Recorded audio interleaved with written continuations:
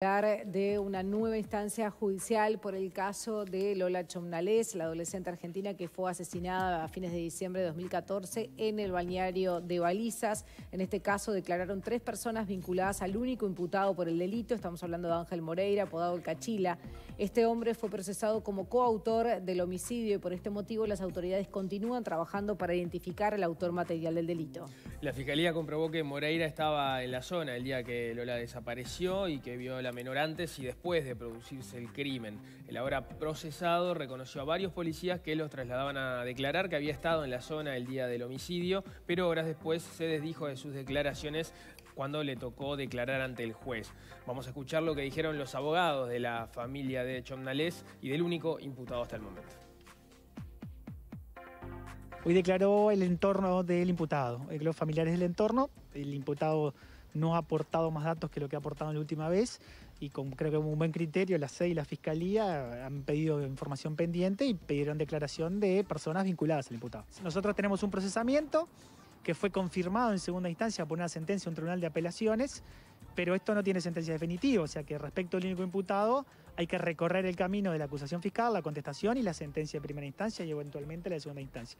Paralelamente, si podemos arrojar más información para eventuales copartícipes, bueno, eso sería la situación ideal, que hoy no tenemos. ¿Para ustedes están seguros que hubo otra persona que participó? Sí, sí, sí, claramente hay, una, hay otro copartícipe y no estamos dando con él. Cada una de las partes propuso su prueba, ¿verdad? propuso eh, lo que consideraba necesario, tenemos que, bueno, en realidad es el Ministerio Público que tiene que lograr la, plena prueba. Y bueno, se verá luego de que pasen estas instancias, de que declaren estas, eh, estas personas, eh, pasará para, acusación fiscal y veremos a ver. Ahora se van a recibir estas declaraciones, se va a hacer una, una pericia que pidió la defensa y se va a hacer una, se va a solicitar una, historia clínica también. Y bueno, luego ya pasa para fiscalía para acusar y luego la defensa, le han trasladado a la defensa a contestar y bueno, y después ya estaría para sentencia. Respecto de Moreira. Moreira. ¿Usted sigue sosteniendo que Moreira es inocente? Sí, estamos en las mismas condiciones.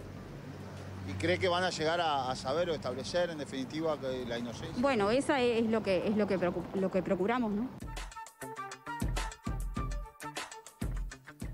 Y ayer recuerdan que les hablamos sobre la ocupación del local de UTU, el local central, el Ministerio de Trabajo y Seguridad Social ayer aplicó por primera vez el decreto que limita las ocupaciones, fue justamente en, esa, en ese local, estaba siendo ocupado por la Asociación de Funcionarios de esa dependencia que es AFUTU.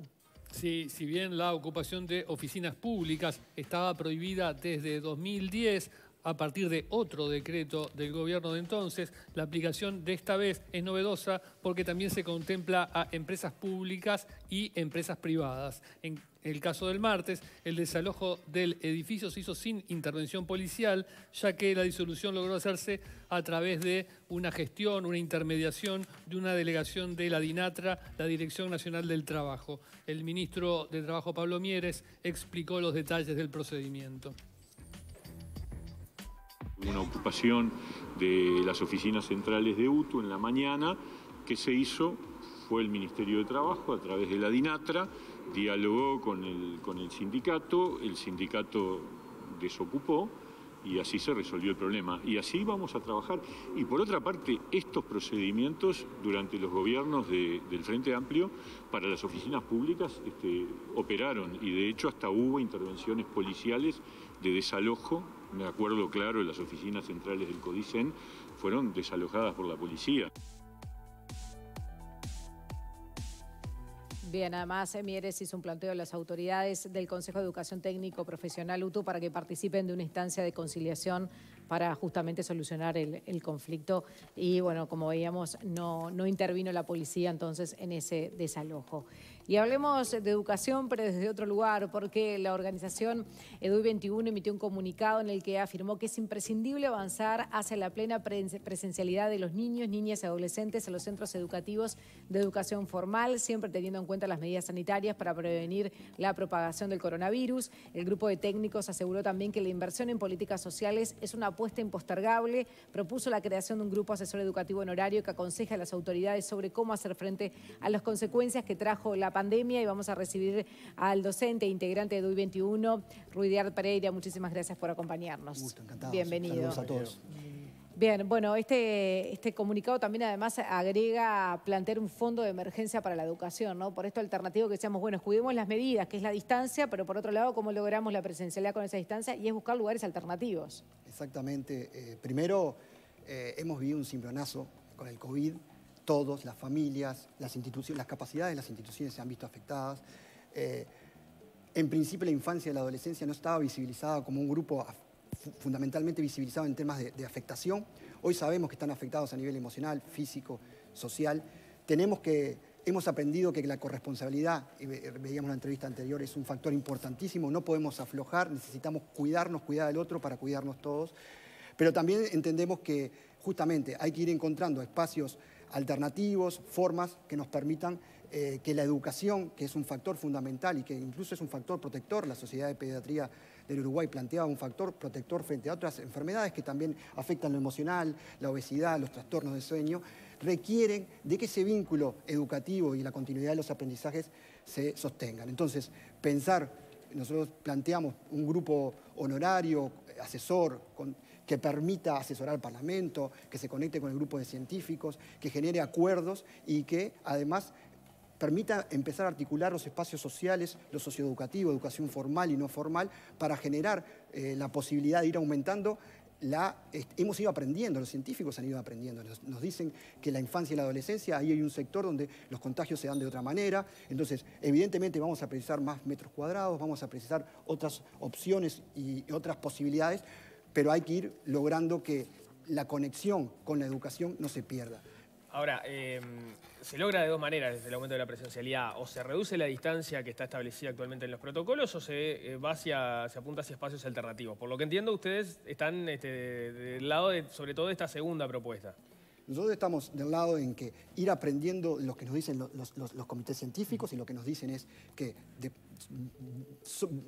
debajo de los 12 años la infección y la propagación es menor eso implicaría no romper los protocolos, generar otros espacios para que lo educativo se, dé.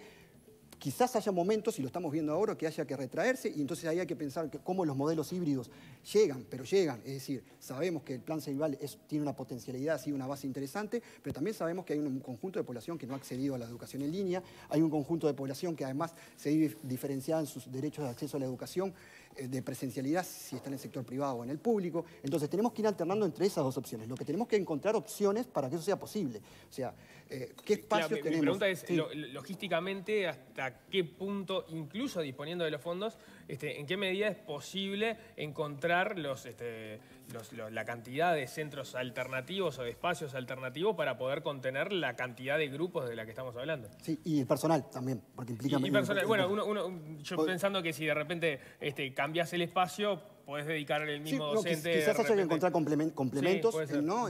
Clubes...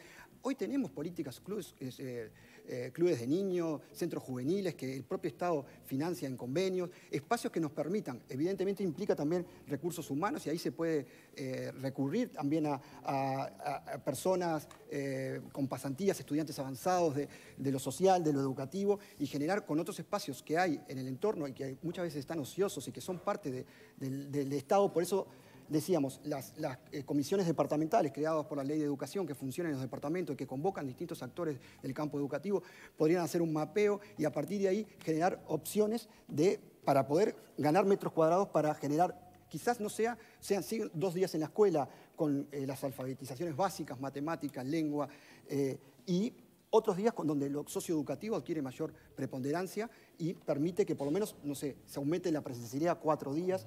Lo que sabemos hoy que el vínculo educativo necesita de la presencialidad lo más, que se pueda y sabemos también que afecta sobre todo a los sectores de, que vienen de sectores vulnerables, de, situación de vulnerabilidad social. Recién mencionabas el tema de la revinculación, que va a ser uno de los, de los grandes temas de cara al próximo año, y ustedes dicen que quieren, tienen como diferentes líneas de acción para esto generar un plan estratégico. ¿Por qué lado se, va a ir en ese sentido? Bueno, eh, primero es el grupo que debería definir acciones, nosotros proponemos algunas. Estamos muy preocupados por el 2021. Sabemos que en educación media los adolescentes, muchos no están retornando. No va a alcanzar con hacer difusión, no va a alcanzar con hacer llamadas. Necesitamos ampliar los equipos para encontrarse en la comunidad, para conectarse con las familias, para generar un, espacio de hospitalidad para recibir esos adolescentes. En la ONU está hablando hoy de que el cierre de las escuelas puede configurar y nos está alertando de no configurar una catástrofe generacional.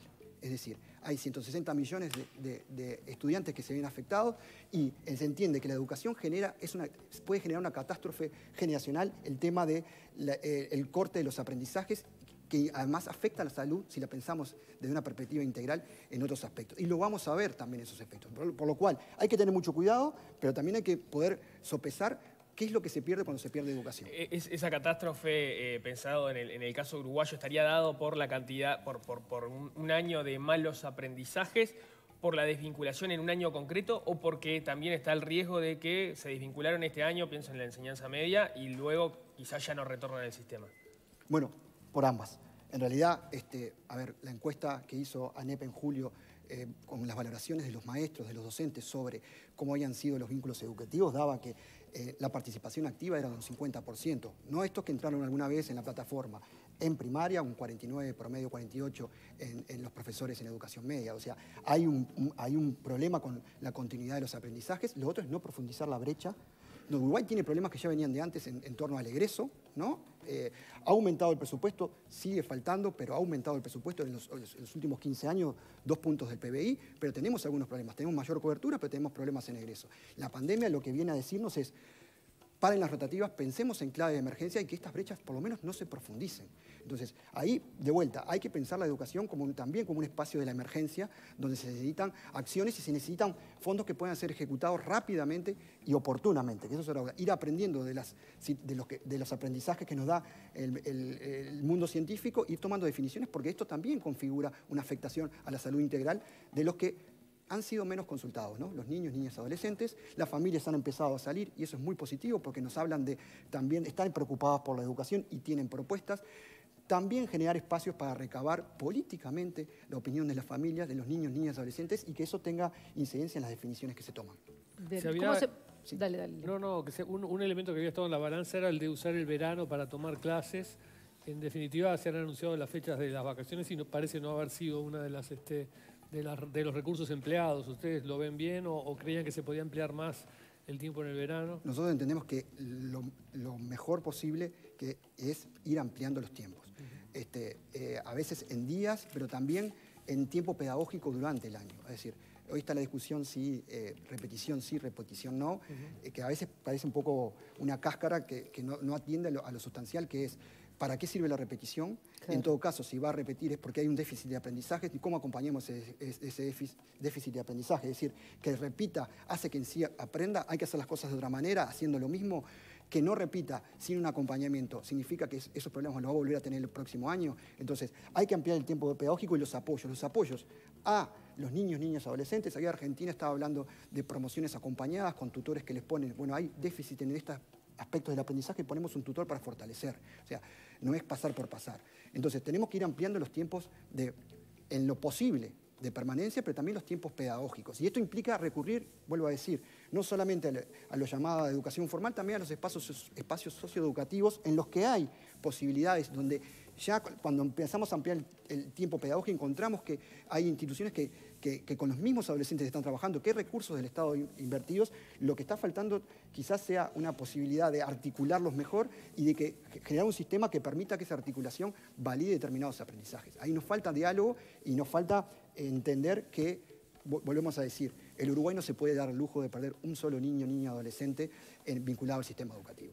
¿cómo va a funcionar, por un lado, el fondo coronavirus? Eh, ¿Cómo lo van a manejar? Y por otro lado, el, apoyo a nivel familiar del que hablabas. Bueno, en principio es una propuesta que nosotros ponemos a disposición los colegas de, economistas que pueden acompañar este proceso. La idea es que haya un fondo, así como un fondo de coronavirus pensado para la educación, administrado por un fideicomiso que, que permita de alguna manera este, generar decisiones rápidas, donde puede haber participación de lo público y lo privado. Eh, la idea es, hay necesidad de tener dineros y recursos que se puedan ejecutar rápidamente para tomar decisiones. Lo que hemos aprendido es que las decisiones son necesarias tomarlas oportunamente, porque los tiempos van cambiando y las, situaciones van cambiando. Entonces, tanto en aumentar la, plena presencialidad. ¿Cómo tener que pasar en algún momento a una, modalidad híbrida? Implica, entre otras cosas, formarnos los docentes. Nosotros los docentes necesitamos formación en eso, en servicio, pero también la formación inicial. E implica también acompañar a las familias. Y a, eso vamos. Es decir, las familias que tienen que atender a sus hijos trabajando a, distancia, plataforma creada, ven recargadas sus tareas. Muchos no lo saben hacer. La conectividad, hay países que han, nosotros tenemos una buena conectividad, pero no ha llegado a todos. Y eso es una realidad, sobre todo a los sectores que vienen de, situaciones de vulnerabilidad social. Entonces, algunos países han aplicado paquetes de datos en el propio teléfono a través de una aplicación, otros han acompañado a las familias con materiales de apoyo que permiten, otros conectándose y yendo a trabajar con esas familias que necesitan eh, eh, acompañar en los procesos de aprendizaje. el, tema aquí es poner en el centro a los niños y a los niños adolescentes. O sea, toda política, toda definición tiene que poner en el centro a los niños y niñas adolescentes. Se habló mucho de qué pasa con este año, sí, recién decías, ¿no? El verlo de repetir o no, pero por, este año, si repetir, si no repetir, si poner notas, si no poner notas, y ya quedó esa pregunta instalada que post-COVID, si realmente se va a poner o no se va a poner notas. ¿Qué, qué es lo que piensa de 21 Bueno, sobre este no hemos hablado ahora sobre este tema. Lo que nosotros consideramos que acá lo importante es, eh, más que la calificación, son los aprendizajes. Entonces volvemos a decir, ¿cuáles son las herramientas para permitir que alguien aprenda mejor y que no tenga déficit de aprendizajes y que el proceso de enseñanza-aprendizaje se dé mejor? ¿Es la repetición? ¿Es la calificación? Bueno, ahí hay una discusión pedagógica interesante para dar. Eh, nosotros entendemos que lo principal es que aprendan las competencias, determinados bloques de competencias, que, la evaluación, en todo caso, debe apostarse a la, evaluación formativa que nos permite ir este, viendo cómo se da el nivel de aprendizaje y no tanto la sumativa, que es quizás en algún momento una forma de organización del sistema. El sistema organiza que en un año pasan al otro, y esto permite que los repiten, ya quedan, y, organizamos la institución de una manera que nos es más fácil, qué es lo mejor para un niño y adolescente. Entonces, la evaluación tiene que ir en consonancia con la posibilidad de fortalecer los aprendizajes y no de eh, reprimirlos. La repetición, también hay que ver qué, genera en la subjetividad de un niño, niña adolescente el concepto de repetidor, ¿no? ¿Qué potencia? ¿Cuál ¿Eso mejora la continuidad educativa o en realidad genera una situación en la que se ha visto que, es un predictor de fracaso? Entonces, ahí hay discusiones pedagógicas, pero se tienen que dar teniendo un vínculo educativo y eso es lo que se ve amenazado ahora. Nosotros entendemos que eh, es necesario construir vínculos educativos. El aprendizaje no tiene que ver solo con los contenidos, sino el otro aprende, y eso lo sabemos desde filosofía la educación desde hace muchos años, pero también de, la neurociencia, las emociones, la construcción de un vínculo maestro, estudiante, niño, maestro, eh, profesor, adolescente, es lo que permite que el otro convocar el interés del aprendizaje. Y eso es un vínculo intransferible y sea de una manera u otra, hay que lograr trabajarlo y hay que lograr eh, acciones que permitan eh, dar continuidad. Lo, peor que puede pasar es cortar la continuidad de los aprendizajes. Se hizo público este comunicado, pero ¿tienen pautada alguna reunión con autoridades? Hemos pedido reuniones, seguramente la, tengamos.